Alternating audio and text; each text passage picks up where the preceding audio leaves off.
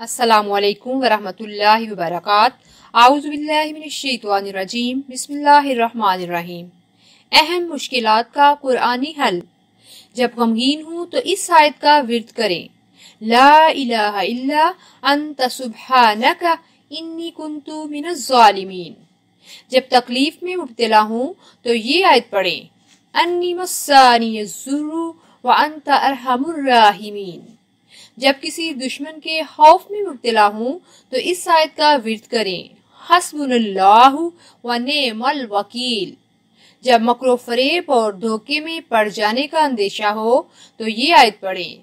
वफ़विज़ु अमरी इल्लाही इन्नल्लाह बसीरुम bill इबाद video को आगे share कर दीजिए, क्योंकि दीन की बात को शेयर करना सदका जारिया है। वीडियो को लाइक कर दीजिए। जजाकल्ला है अस्सलाम वालेकुम वरहमतुल्लाहि वबरकात